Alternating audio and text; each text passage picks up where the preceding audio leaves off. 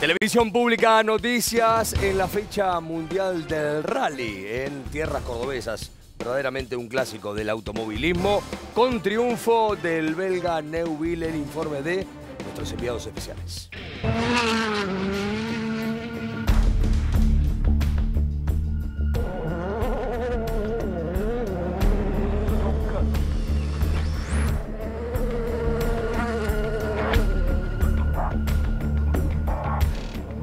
Fue un final de película.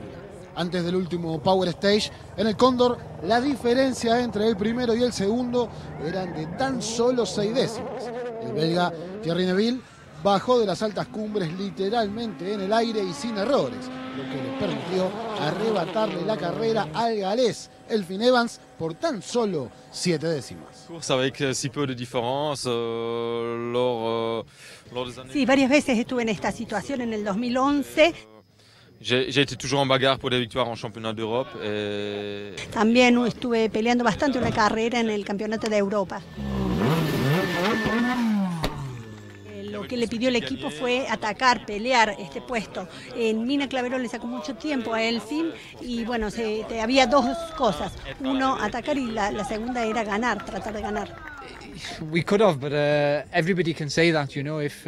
Que ayer en Mina Clavero le costó algo de tiempo, que una de- es una de las condiciones para ganar el rally, que podrían haberlo ganado, por supuesto, este, que Thierry Neuville hizo un gran trabajo, que todos en algún punto tuvieron algún problema.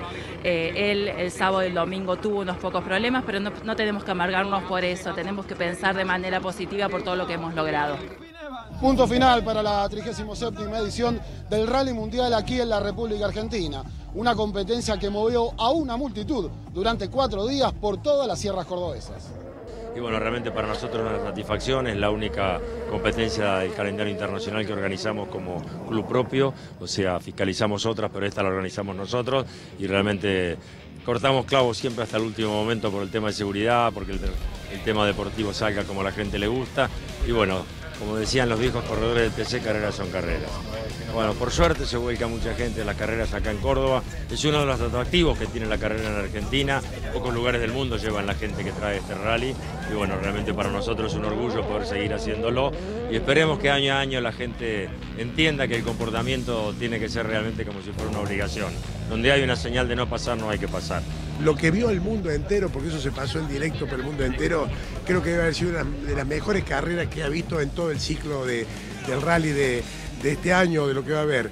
Y realmente feliz por lo que esto ha significado, por el éxito que ha tenido a nivel de, convocatoria, por el éxito en la productividad, con lo que ha impactado en la economía de la región.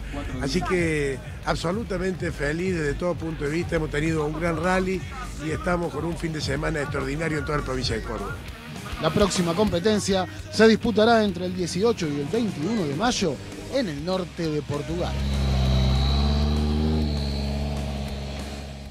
Lamentablemente, la noticia desagradable de la tarde de ayer fue que 15 autos, ahí como observamos, y 7 motos, producto de un pirómano. Eh, no se sabe todavía eh, el motivo esencial, quizá arruinar la fiesta, y lo terminó logrando. Lo cierto es que helicópteros más camiones hidrantes tuvieron que participar. 15 autos eh, y 7 motos fue el saldo. Por suerte, ninguna víctima, ningún daño humano. Eh, esto fue en dos tramos en particular que comprendieron la competencia. Eh, como vieron y pudieron observar, son autos particulares, fueron autos particulares. El Cóndor Copina y Casilla Negra. Esos son los dos eh, tramos, las localidades correspondientes a los tramos donde se vieron ahí hay escenas que tienen que ver también con rotura de vidrios y demás. Un loco que nunca falta. Lamentablemente fue La Mancha en lo que fue un espectáculo eh, muy bien organizado como sucede habitualmente y eh, nunca deja de ser una verdadera fiesta en la provincia de Córdoba el rally. Pero aquí la mancha oscura.